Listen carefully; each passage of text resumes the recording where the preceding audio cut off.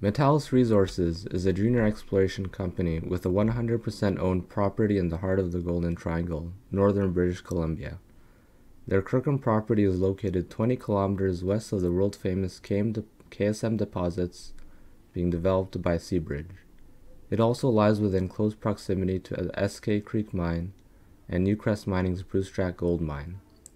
This week I got to sit with Metallis's chief geologist, Nickolas Dudek, as well as CEO Fiore Aliperti to discuss the company's latest news release and sit through a GIS demonstration of the newly released 3D model of the Cliff Miles target.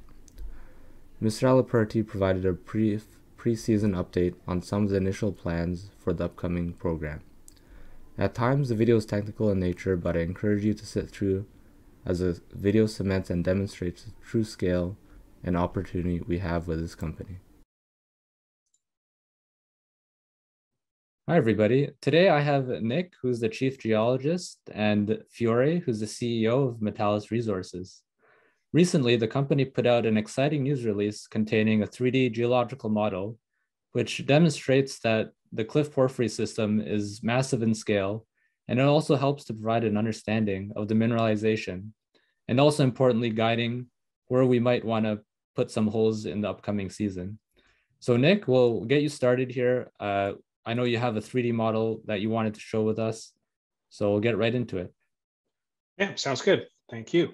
Uh, I'm sharing my screen now. Uh, basically, just have the full claim map for uh, the Kirkham property. I'm just going to zoom in down here just to help give everyone a sense of where we are. North is up on the on my screen. And as we zoom in here on Cliff and Miles, I've added these labels here just so people recognize it from past news releases where we've had these blocks labeled.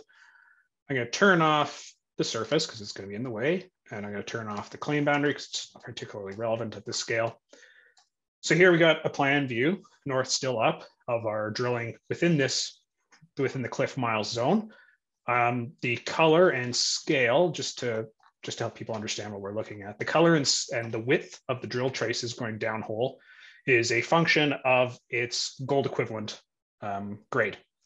And in this case, they're composites. It's sort of a running composite, which just helps kind of smooth things over a little bit. It doesn't change uh, the fundamental amount of metal in the ground. It just makes things a little bit easier to digest. It gets rid of some of the high spikes and lows and okay. makes it a little easier to see. Um, hey, Nick, so just yeah. before we continue, just to give the people a sense of scale, how how long or uh, how wide is this mineralization that we're looking at right now from north to south? Well, actually, we're not looking at mineralization, are we, Nick? We're looking at the faults. Nick will go into. Yeah. Okay. Yeah. Yeah. So one thing that came up from the last news release is um, some of our drill holes. Actually, maybe I'll just pull up that figure right now because I have this ready. Particularly in this figure here, some of the drill holes exit through the Adam fault, which is this blue shape displayed here. Um, you know, it's it's depicted here as being mostly two-dimensional, uh, just a series of planes. Uh, you can see that it's, it's cut up a little bit, and I'll address that shortly. But you can see some of these drill holes that do appear to have drilled out the bottom of it in this figure. That's not exactly what's happening here. Is that they're actually drilling through the Adam fault into the footwall, uh, which isn't mineralized. Um, so if I turn around so that we're looking slightly to the northeast, east is in this direction, north is in that direction. When I turn, you can sort of see the cardinal directions and surrounding this cube thing. Um, you can see of all of our drill holes that have punctured through the Adam fault into the other side. Um, it's it, although maybe not the greatest for mineralization, it's actually a great tool for drilling because we know once we hit the Adam fault, it's easy to recognize. The, the geology on the other side is completely different from the geology above um, makes a great spatial datum. So we know exactly where we are and when to stop a hole. Um, so going forward, we don't have to drill long traces into the footwall anymore. We could stop a little shorter. Um, sometimes we get some gold enriched assays. You can see these little red blips that pop up every now and then on the other side or a little pink one there. Uh, but generally speaking, it's it's unmineralized. So it'll help us save uh, save money and put more money towards actual drill meterages. Uh, so that was one thing we wanted to talk about. So these traces that appear barren, it's just because we're looking at it from this angle and it's drilled through to the other side of the Adam fault. The problem is with this system is there's a lot of there's a lot of geometry to take into account. Um, it's kind of hard finding a perfect view of everything. Um, so I mentioned that the the Adam fault, this large scale blue thing, this thing I've colored blue, is sort of broken up, and there's a bunch of faults we've inferred and and seen at surface or mapped out or drilled, which are these gray and uh, blue planes respectively. The blue ones are ones we're still trying to figure out. We don't have good control on them, but they're sort of inferred. Uh, the gray ones, we see at them at surface. We see them in the drill in the drill holes, a um, bit more well understood. And the gray ones are really the ones responsible for breaking up cliff block one to block three and the miles block. Um, this is a bit much to look at, so I'm not going to have those displayed, but just like to keep in mind when we're looking at continuity. Um, so now I'm going to pull up the main thing we care about uh, from this last news release is the grade bearing MP, which is this. I'll go back into a plan view, uh, navigate, look north, look down. So we're back in plan view here. and this is the main the, the main uh, porphyry phase that we're interested in from the last news release. So, okay, now relating to your relating to your question here, gonna make this a little bit bigger. I have to set this plane up for measuring. If I take the ruler tool, we could trace this thing from in drill holes. It might go be, it looks like it goes beyond because we have uh, chip sampling at surface down in this area here, but we could trace this thing all the way from the south end of cliff, all the way to the north end where it's still open. Um, so it's open both to the north and to the south. Oops. And that comes to 2.5 kilometers. Uh, okay. This orientation. Yeah. So this is the mineralized, the main mineralized body of interest. Yeah, and that I mean to our listeners, you know, that's a, a massive scale. I was looking at the news release, two and a half kilometers long. It looks like it's uh, a couple hundred meters uh, wide and uh, you know like 600 up to 600 meters deep. And then if we do some basic napkin math i'm i'm thinking that's already like you know half a billion tons just napkin math not something that you know just you know multiplying some numbers with some standard gravity that we think might might be there. So just you know it's a it's a massive scale product uh, project. Yeah absolutely. I mean a lot of um you know we compare to a couple different projects this you know um, gt newmont the Newmont deposit here, Saddle North. Um, we've compared now to this one a couple times, and this is to scale. Um, people get excited about the great depth potential of a lot of these systems, which, as far as we could tell, we still have here, but we'll, we'll look at that a little bit closer later. Um, we still have the depth potential in this area down here, but what a lot of people might be forgetting is just how long this thing is from north to, which is exactly as you say, from north to south which is something a lot of other major deposits in the Golden Triangle or even around the world don't necessarily have. You got to go quite deep and get into the, the world of caving and, and underground mining, et cetera. Whereas most of our stuff that we've hit, some of our best grades, like down here in the cliff block one, they're right at surface. Um, so next thing I want to uh, hop in so I'm, I'm panning now. So we're looking a little bit sort of at an angle towards it. This, this plane here, this square is uh, sort of marking horizontal. Um, so we're looking now kind of to the northwest. I'm going to leave this system on and I'm going to toggle on a couple other things that are of interest. So in this last news release, we talk about splitting the MP into two parts. We have the well mineralized MP, which is the dark red, and now this sort of sorry, excuse me, I have a bit of a cough. Um, this pinky color, which is the other the other half of the MP, which has sort of confused things in the past because texturally they're very similar, but they have pretty different grade profiles and um, veining content. So that's something to keep in mind. I'm just going to toggle through a couple of these. I'll leave that on. We can similarly, we can split the CP, the coarse porphyry, which we've mentioned in the past, into two parts. We have the CP, an actually a half decently mineralized CP, which sort of rides here and there in the yellow. So I look back to plan view-ish. Um, you can see it sort of weaves its way through the system.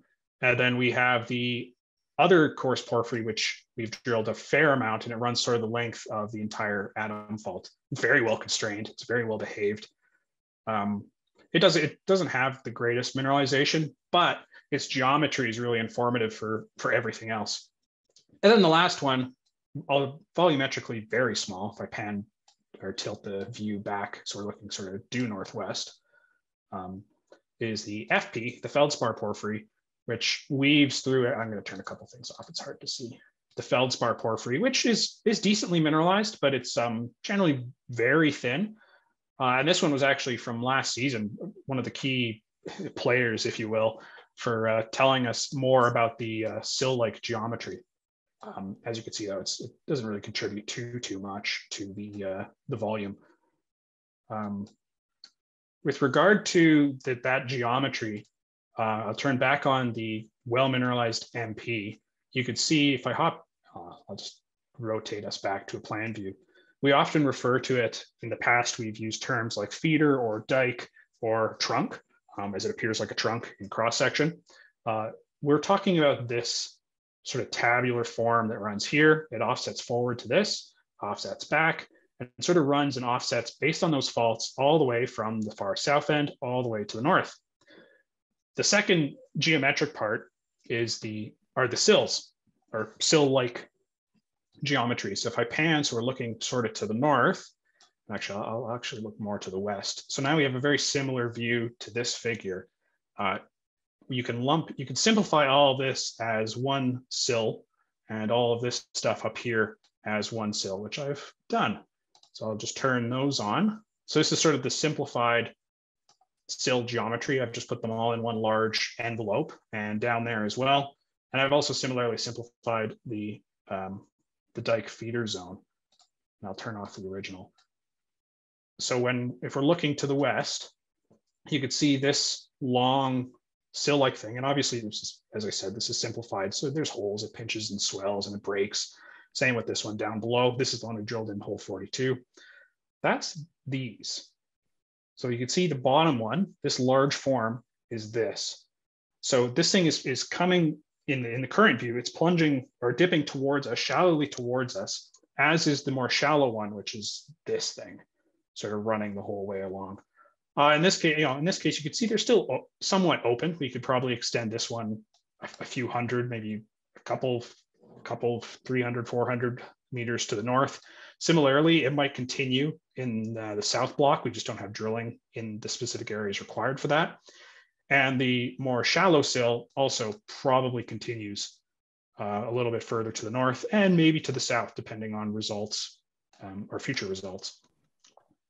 Okay, Let's so see. basically, hmm. you're you're showing us here the high priority targets on the right side, and this is where you think you're going to find more MP uh, mineralization, well mineralized, um, uh, mineralized, oh, well MP well mineralized, higher grade material so that's why those are the high priority uh, targets for this season, right? Yeah. So know this this large uh, this large hatching patch here specifically is looking at this volume of the bottom sill here, for example. This patch up here of hatching is looking at this this uh, volume here and trying to extend this tabular shape further to the north. Uh, similarly, this is related to extending this further to the north and exploring this second uh, MP tabular shape. Actually, I'll just go through all of them. This one's on the other side of a sort of a, a, a the second MP phase we discuss uh, and how we have sampled it at surface. So it likely continues on the other side. Similarly, this thing, which is probably, well, maybe our most interesting, this paired with this, our most interesting uh, high priority targets is talking about this form here. So again, there's a lot of depth going on, um, similar to the Adam fault. You know, if I zoom in on cliff block one, which is just something we should should do at this point, I think. Um, you can see a lot of these holes started. Oh, the whole label's turned off. Um, a lot of these holes started within the uh, the high grade MP.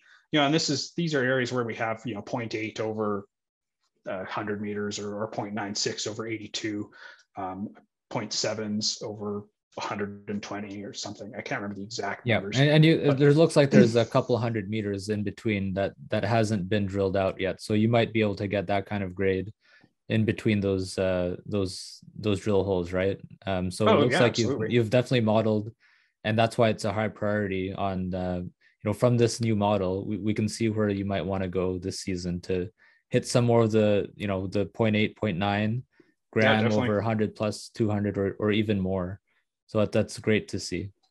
Yeah so i'll pull up this section while we're talking about it.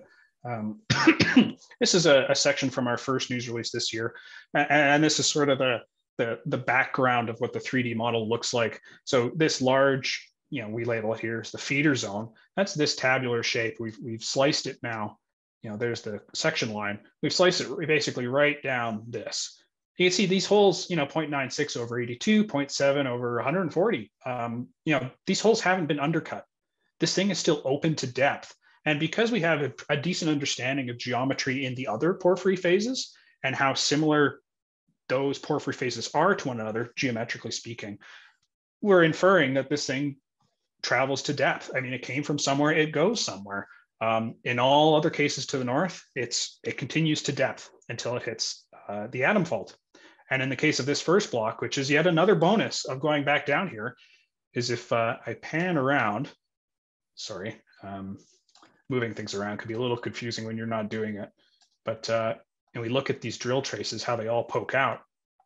If you look at the orientation of the Adam fault, actually maybe it's probably a little bit best if I spin it around. Oh, you can sort of see it here. If we're looking to the, to the southeast-ish, we're looking at the backside of the Adam fault. So in this figure, we're looking from this direction, like as if we're in the legend.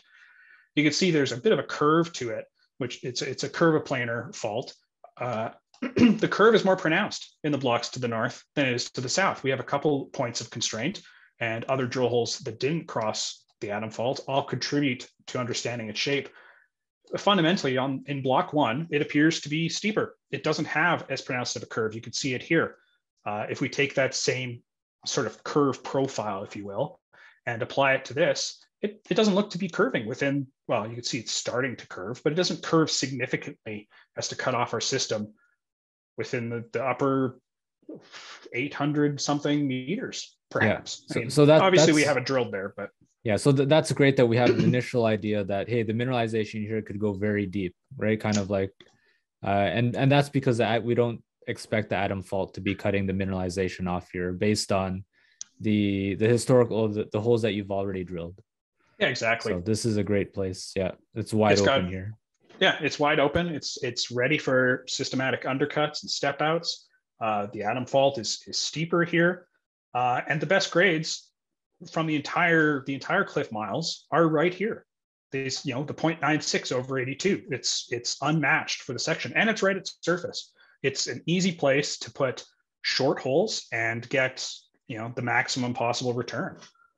Um, and hopefully carry it. We'll just keep on marching to the north with it, with you know systematic step outs and undercuts to keep following it. That, that's that's really exciting. Yeah. Uh, so now now I understand. You know, on, on that other figure that you had, why? Yeah. yeah the, now this makes an entirely perfect sense why your high priority target on the left side goes all the way down very deep and that's because the Adam fault is not curved. And that's why it's uh you know we think it's completely open there.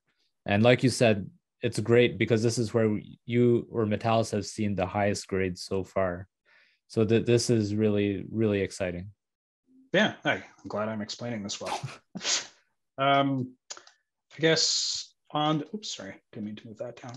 On the 3d side the only other thing to note, and I'll turn this off because this is a fairly complex shape, is our gold enriched zones. So this is a late event that sort of has kind of ripped through the whole porphyry system and has in place uh, intervals that are uh, more enriched in gold than the typical porphyry grades we see. And that's going to be, this is a bit of a complex shape but I'll guide you guys through it. I'll go back to plan view because that's, you know, we're looking straight down on it. We described this thing a little bit, but it's a, it's again, it's a complex shape. Uh, it has a, a, similar to the porphyry, uh, the porphyry system. It has a feeder, this long ribbon-like thing that runs all the way from the south end all the way to the north, and it's popping in and adding in these sort of almost spurious like high grade gold hits like on over here over here oftentimes we see them in the footwall of the adam fault just right close to it and occasionally we see it Um, we believe they're subhorizontal or subvertical, sorry, subvertical on the uh, the faults, the um, the left, the apparent left lateral faults that I showed earlier. So if I pan this, so now we're going to go back to looking at a similar orientation to this. Maybe that's a good place to stop right, right here. That's the long ribbon. It, it crosses the Adam fault into, you know, we don't know how, how we don't know how deep it goes. And it comes right to surface from what we could tell. This large, uh, you know, leapfrog style blowout over here, that's related to the, the high grades of the epithermal system up here. Um, these, these fin-like things are uh, falling along those uh, left apparent left lateral faults that I showed at the beginning. And then on top of that, we have sort of a strata bound mineralization. So if I look due west, you can see there's one, and there's a second one here. And the cool thing, now, ah, okay, so this is a pretty complicated shape. Uh, obviously, you know, it's it's it's a late gold event. It's not volumetric as volumetric as a porphyry system. But the cool thing about it, and I'm going to turn on the MP, the well mineralized MP, the simplified version, just the just the dike. I'll leave the sills off. Uh, if we will go back to looking down on it, it kind of weaves around the uh, the MP, the well mineralized MP. So ideally, in this coming this coming drill program, we'll be able to hit uh, our you know our main porphyry phase of interest, as well as you know the epithermal or the gold enriched zones from south to north with with every drill hole. We would hope. Um, but of course, it's a bit harder to recognize in core, uh, funnily enough. So we'll see how it evolves with time. Okay, and, and sorry, can if yeah. you can remind me on the epi, uh, epithermal uh, gold zone, are those mm-hmm. higher grades than the the porphyry mineralization? They're generally higher gold grades. Yeah, lower copper grades because it's it's it's just a gold enriched a gold enrichment event. Um, higher gold grades, than you would expect from just pure copper or just pure porphyry grades alone. Um, and they come okay. up as yeah spurious like hits. We've had them tracked out before. Obviously, this is everything in 3D I've shown. It's more simplified than what we can do in a cross section, but uh, that's sort of these yellow traces we've shown before in um, okay so, so that's great we're we're going after the bulk tonnage uh you know 0.8 0.9 gram at the southern end and yep. we have this epi- epithermal uh, gold zone which we understand now as well. And we're we're expecting to hit both of them you know maybe two birds in one stone to really kind of expand and uh, build this system. And also i think a new news release really increase the overall grades that you drill this year versus what we've seen uh, maybe in the past year or two. Yeah that's that's the hope. And i think we're in a good good position to do that I don't think, I think 3D wise, that was sort of uh, the ball. I think that was everything I had hoped to show. okay, that's uh, that's great. I think that's a, a great explanation. It, it's certainly helped my understanding. Um, so I, the, the only thing I wanted to say, Andrew, sorry, is that uh, Nickolas, if you wanted to explain under hole 41 and 42, the, uh, you you did you did touch on that. That that's another zone that's that you want to explore. Oh yeah, I mean absolutely. I'll, I'll pull this back on. You know, this is this is definitely an area we want to highlight for sure. You know, the south block of cliff. But similarly with these other hatched zones, you know, I was I like the gray. I like this stuff we saw in hole 42. That's this one here. Uh, yep. We came into a system that was well veined. It had uh, had decent uh, copper gold, um, and as far as we could tell, because now we're in one of these uh, sill-like geometries, that it's it's open to the east you know, um, I have it extended. You know, I've made this model, but I don't I don't want to extend it off to infinity. Obviously, it would make for a weird visual. But uh, you know, we don't know how far this thing goes. That's this hatching area here. Uh, okay. It's open to the east as far as we can tell. Similarly with the the shallow sill as well. And up here, well, there's not a lot of drilling up here. And as far as it looks, it looks like the system, the shape is still open in that direction. So these are other areas that would be great to be able to hit on onto. Okay, great. Yeah. So similarly on on the north side at Miles, you, you do that. Uh, there's not much drilling there, so there's also a lot of upside potential there as well. Yeah, definitely. Okay. Yeah. Thanks. Thanks, Nick. I think you covered all you know all my questions on on that side. So uh, with that, thank, thanks for showing this this model. It was great for my understanding, and I hope it's helped other folks as well that are listening. Uh, so now I want to shift focus to to Fiore to give us an idea of what we should expect in the, you know, this upcoming season and and what the plans are. Well, with uh, with the temperature still holding out, uh, we're we're hoping to be out there in July, um, but uh, it may may it may be a, middle July start. We'll see. Um, we like to do a, a two-phase uh, program. Um, the, the first phase starting in mid-July, uh, going aggressive in the, the cliff zone. Um, uh, on the next news release, uh, uh, Nickolas and, and, and Dave will have a better idea of actual you know drills uh, drill tracing and and where where we're going to you know hit the the good grades and and everything that he talked about today. We'll, we'll put that out in the next news release. Um, so the phase one will be to attack uh, the cliff zone.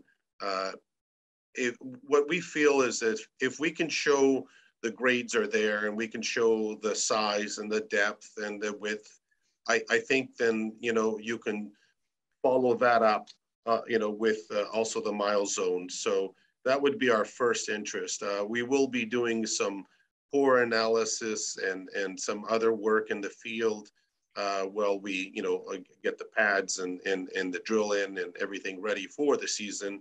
So we're, we're looking at, yeah, a, a two phase.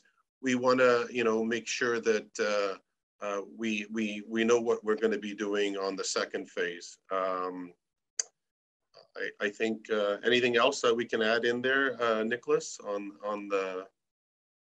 Um, I think you summarized it well. I mean, we've talked about other targets in our in our past news releases. Um, yeah. Metallis certainly has, you know, like in the ZTEM releases specifically, and Metallis certainly has a wide um, variety of targets already named and pinpointed that I think a lot are worth a lot. Um, a lot of them would be worth follow up um, you know, getting on, you know, boots on the ground stuff, mapping, prospecting, soil sampling. If it, if a certain, you know, if we can justify it, you know, maybe geophysics in certain areas too, you know, to build these targets up. Obviously, Cliff Miles, you know, we, we I've spun it around, has a lot, it has great potential, but you know, the actually, I'm going to turn that back on. You know, the, there's the property boundary. It's huge. We got a huge property, and I mean, we got targets just throughout yeah. the whole thing and and it's going to be a race about uh, getting out there and and hitting on these targets as well as you know coming back to the core shack and logging core um, right so yeah i know in the in the past news release uh, and i kind of recommend the listeners go back to the old news releases and some of the the older interviews that we've done. But there are very exciting targets all around the entire trend going 12 kilometers i believe. So i mean priority one obviously cliff.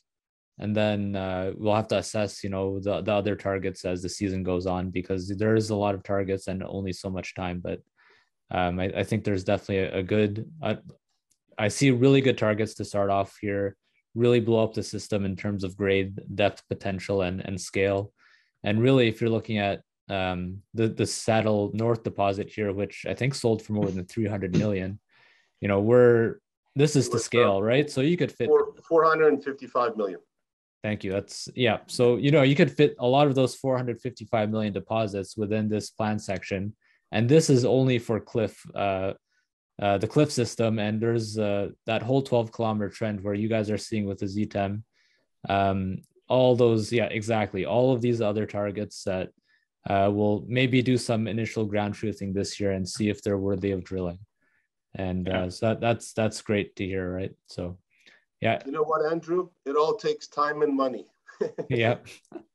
Yeah, we we definitely need that money to to get going, but um, you know, it's it is really exciting and I see a really clear plan um, you know, to to go at these. You guys have the right targets to go after. We'll look for your next news release um for, you know, the next steps and hopefully we we hear back um on the other updates. So, you know, you've you've got already gone through when you'll be on the field some of the targets and the priorities.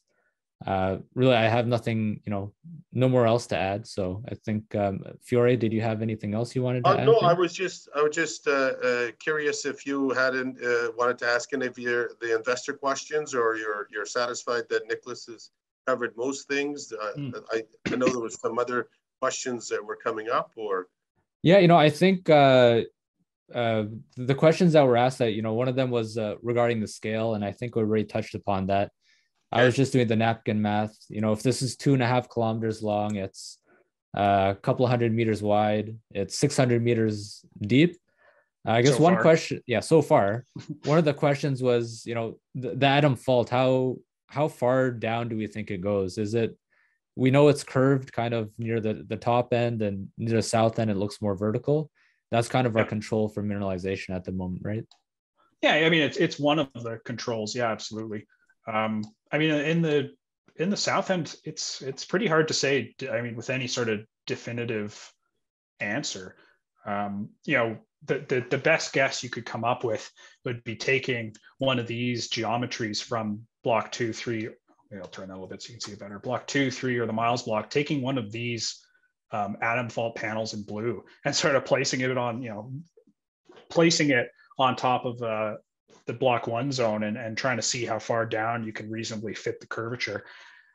But really, it's it's uh, we wouldn't be able to say with any sort of certainty until we actually drill it. Um, okay hey yeah, um hopefully, it goes a long way down. so one question here and i'm not sure if you know this but i think gt saddle north had a, a mineralization density of uh, the the rock density was 2.8 tons per cubic meter is that something you would estimate that you know cliff or, or miles you know for those that are doing napkin math hmm Um, so we started our SG program uh, when I came on board last summer, uh, and we got it started maybe midway through the summer. So I think we started on hole the end of hole forty. Uh, so we've only done we've only sampled just a few holes, you know, 40, 41 Okay. 42, 3, 4, 5. But the numbers are pretty variable. Like it's not it's not trending to a nice sort of distribution as of yet. We don't have enough sampling. Um, so that number is almost certainly going to change uh, before the end. And that's really just this volume here. So we haven't really started measuring these yet. And that, that'd be one of the goals of going up sort of before drilling, you know, give us a little bit of time before drilling is to do some relogging and, and take some SG measurements to, to really flesh out the whole system or the whole system's value. Got it. Well, yeah, thank you, Nick and and Fiore again for taking the time to take a chat with me. And I'm sure you know the next news release definitely want to do another deep dive and kind of go through the targets. And uh, we're really excited to to get through. You know, we're almost at summertime, so it sounds like mid July. It's right around the corner. I think everybody's going to be really excited and uh, uh, for what's to come from Metallis. It sounds like you guys are going to hit it out of the ballpark, in my opinion, Hopefully, anyways. yes, Yeah, finger fingers crossed. Yeah, fingers crossed. That's the goal. All right. Thank you. Thank you. Thank you. Thank you, guys.